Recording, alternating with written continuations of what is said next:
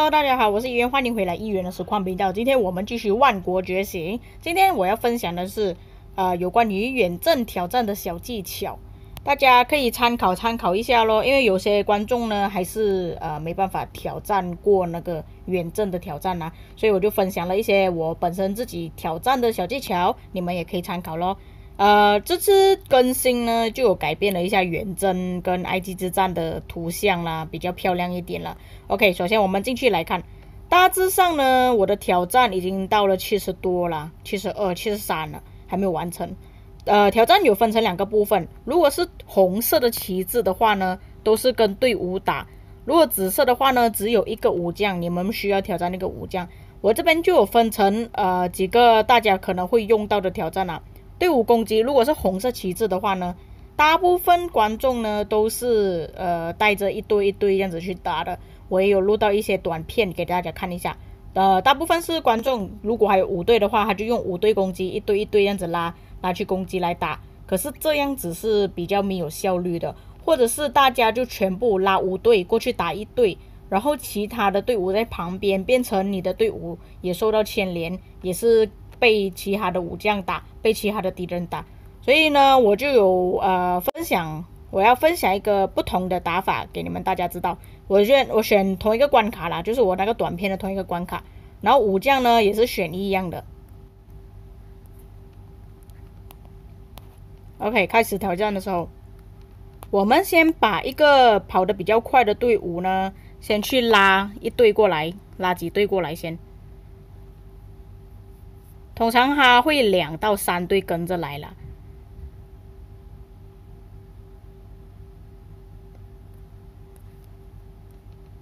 等拉过来的时候呢，你们才来攻击。为什么要这样子攻击？如果你跑得太靠近其他队伍的话呢，其他队伍也会一起来攻击你。这样子的话，他们会发动他们的技能，发动他们的技能。如果有一些武将呢，他是有群打的技能的话，就会导致你的队伍很快死掉。所以我用这个方法呢，可以减低自己的伤害，也不需要同时间打太多的敌人武将，这样子比较安全一点。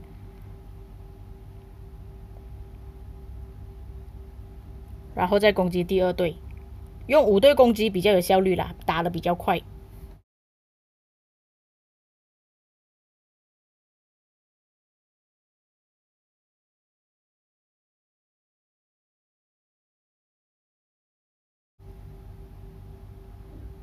OK，所以到最后呢，我们五队还是活着的，只是拜巴尔的命会比较短一点啦。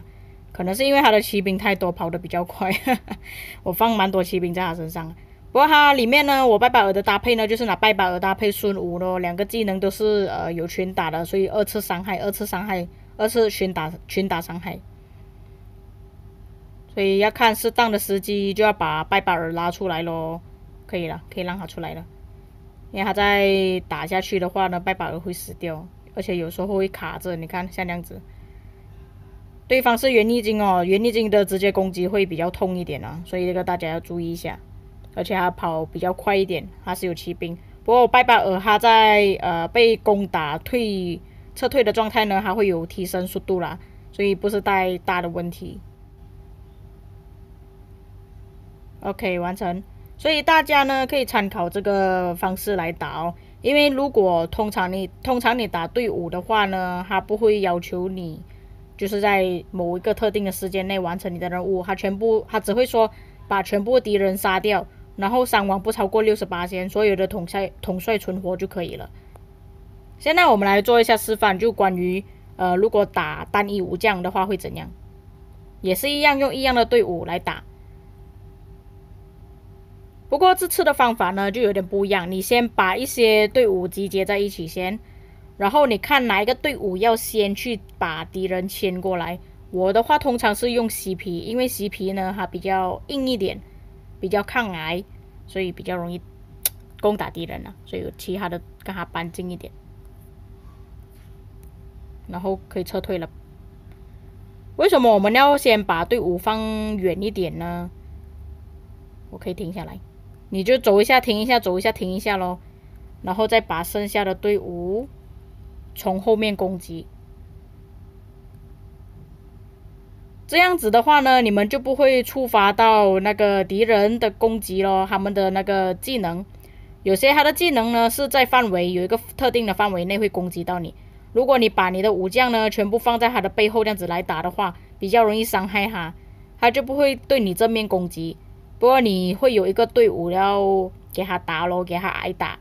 你看到你那个挨打队伍呢，差不多要没有命的时候，你就必须要把他撤退咯，不然你会死得很惨了。而且你也完成不了任务，完完成不了任务的话呢，你就不能拿每日的那个呃远征奖励。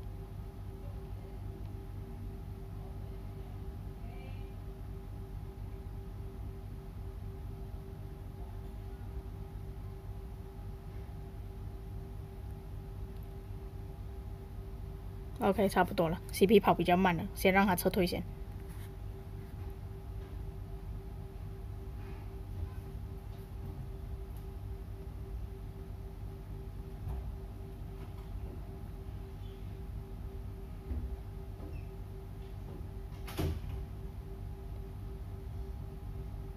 OK，现在撤退了一个 CP，可是我其他队伍的命呢，还是算蛮长的，所以还是有机会获胜的。这样子打的话比较有效率咯，至少我在 CP 挨打的时候呢，都已经减了差不多超过一半的命了。OK，胜利。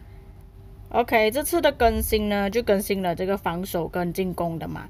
来，我们先来挑战一个试试看。我挑战一个五十等的咯。OK，现在要进攻了。我们先沿着路先打这个武将先吧，先把他打掉先。然后那个进攻的武将呢，他只能跟着跑，没办法。团结一心打的比较快吧。OK，这个搞定，再来下一个。哇，不过我的元力金还蛮强啊，他可以自己搞定。哇，对方那个楠木好惨啊。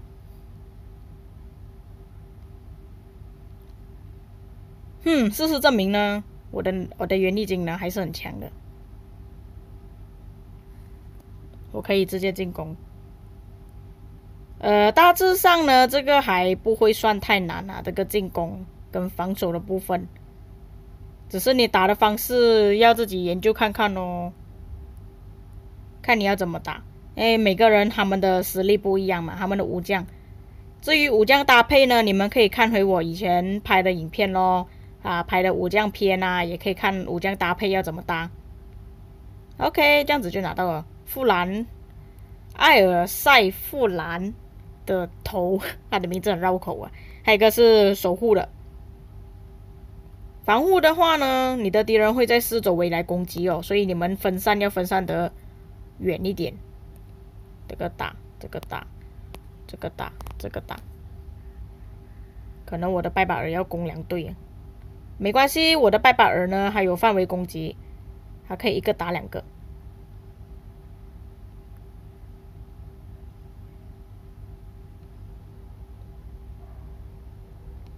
OK，就是这样子打咯。至于防守的部分呢，你们要防守到呃那个时间结束为止，所以好像我这边是三分钟十五秒嘛，我就要防守到三分钟十五秒，到时间结束我才算过关。至于你们在防守的时候呢，你可以学我这样把地图缩小一点，缩小一点的话，你可以看到那个敌人的位置比较远一点，因为你放大的话，你控制会比较麻烦一点的，拉不到太远。如果你不要敌人，呃，不要这么快打到你的那个城市的话呢，你就尽量拉远一点，这样子攻击会比较有效率。OK，二一，时间到。如果你的挑战等级越高的话呢，很像我现在挑战五十等吧。挑战五十等的话，敌人出现的时间会更短，更短，然后他们的攻击力就越来越强，就是大致上是这样子咯。每十关呢，它就会出现一个啦，给你们挑挑战。如果像我现在挑战到七十关的话呢，我就有到七十咯，就有七个可以挑战，这样子还不错啦。因为至少你可以拿到埃塞尔费兰弗兰埃塞尔弗兰德的雕像，也很名字很绕口，真的绕口。啊，如果你拿到那个金币越多的话呢，你就可以换他的头，越换越多咯。而且你挑战你挑战的任务完成越多的话呢，你的远征金币越多，远征金币越多的话，你就可以换一些奖励，还有包括武将的头之类的。如果你有一些需要的话呢，它也是每周都有更新，换不同的武将，你也可以拿来换。今天的影片就到这里啦，如果什么不明白的话，可以在评论区帮我留言，或者是忘记补充的话，也可以帮我留言一下啦。就是这样子，我们下个影片再见，拜拜。